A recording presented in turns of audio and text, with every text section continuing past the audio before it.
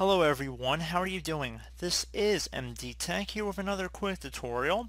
In today's tutorial I'm going to show you guys how to make icons larger on your desktop on Windows. So this should be a pretty straightforward tutorial and without further ado let's jump right into it. So we're going to begin by right clicking on a blank area of our desktop, left click on view and if you want to make them extra big left click on large icons. You can see my recycling bin is larger now. If you originally had small icons, you want to get back to what most people would consider to be normal size. You want to select the medium icons. So I do hope this brief tutorial was able to help you guys out.